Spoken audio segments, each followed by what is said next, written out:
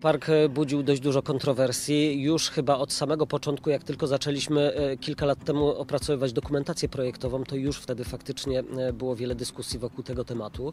Tak naprawdę było wielu zainteresowanych tym, żeby dołożyć jakby swoją cegiełkę do parku. Natomiast myślę, że faktycznie największe jakby wzruszenie budził już na etapie ogłoszenia przetargu, kiedy to ostateczna dokumentacja jakby trafiła do obiegu, została zawieszona do przetargu i, i, i, i powiedzmy niektórzy mieszkańcy e, bardzo dobrze ją przestudiowali i przeanalizowali. No i faktycznie tutaj wykazywali jakby pewne niezadowolenie z kilku, z kilku elementów, e, które gdzieś tam tak naprawdę myślę, że nie można tego nazwać były jakąś kością niezgody, bo my jakby też zdawaliśmy sobie sprawę z tego, że mm, faktycznie z czegoś możliwe, że będzie trzeba zrezygnować, choćby i w zakresie cięcia kosztów, czy ogólnie faktycznie po przeanalizowaniu. Tak jak wspomniałem, dokumentacja powstawała już jakiś czas temu. W tym czasie też zrealizowaliśmy już kilka inwestycji i też wiedzieliśmy, że można ewentualnie pewne elementy czy zrezygnować, czy je zmodyfikować. Natomiast największym jakby takim, e, taką bulwersacją spowodowało zaproponowane przez e, projektanta zabezpieczenie ścian jakby wokół kamieniołomu.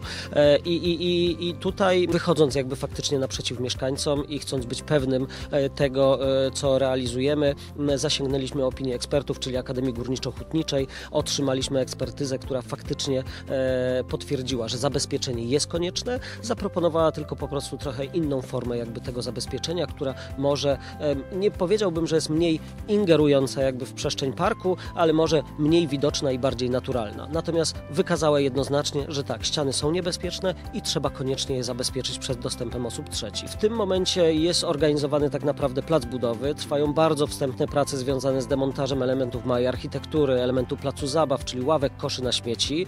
E, no pogodę e, mamy, mamy jaką mamy, więc e, jak tylko e, pogoda pozwoli, czyli e, zelży trochę mróz. E, wykonawca wiem, że ma zamiar rozpocząć prace związane z rozbiórką ciągów pieszych.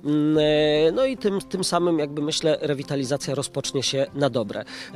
Myślę, że warto tutaj zaznaczyć, że jednak w porozumieniu z generalnym wykonawcą nie zamykamy całego parku dla mieszkańców. To myślę jest bardzo istotna kwestia. Park podzieliliśmy na trzy sektory. Obecnie mamy zamknięte dwa sektory z trzech i ten jeden jest właśnie dostępny, gdzie wejście do tego sektora jest od strony policji przy ulicy Zamojskiego. Koniec prac został zaplanowany na koniec marca, początek kwietnia 2023 roku.